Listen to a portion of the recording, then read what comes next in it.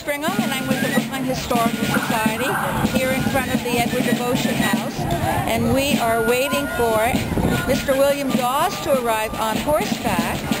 Maybe he's coming right now. Here he's coming.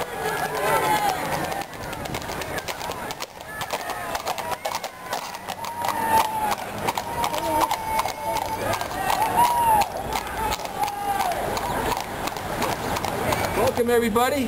We're so glad. We're so glad that you guys can make it out here on Patriots Day, not Marathon Monday or whatever they might call it. Remember, this is Patriots Day. I want to thank the National Lancers for escorting me. I am also a National Lancer.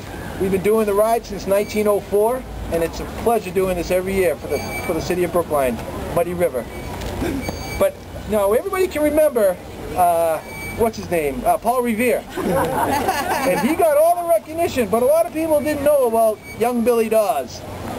And th- there was a poem written about him by Helen Moore in 1896, and I don't know if anybody's ever heard it, or would you like to hear it? Yeah!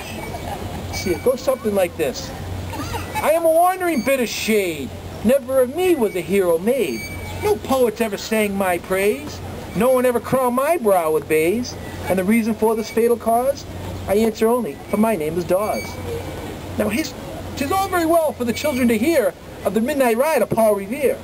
But why should I be quite forgot, who rode as boldly and well, God wot? Why should I ask? The reason is clear. For my name is Dawes, and he is Revere. Now, when the lights from the old North Church flashed out, Paul Revere was waiting about. But I was already on my way, as the shadows of night fell cold and gray.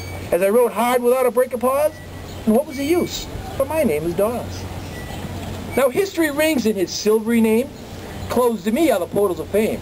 Had he been Dawes and I Revere, no one had heard of him, I fear. No one had heard of me because he is Revere, and I am William Dawes. Thank you.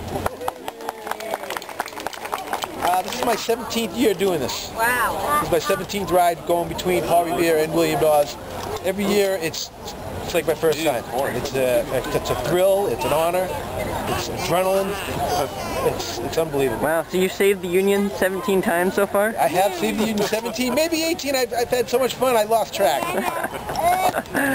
but every year it's something uh, to be uh, something memorable every year. It's great. It's an honor. You can try and pass. It's an honor, and being a, a Lancer is an honor for doing this. The Lan- Lance has been doing this since 1904, the reenactment, so it's it's awesome.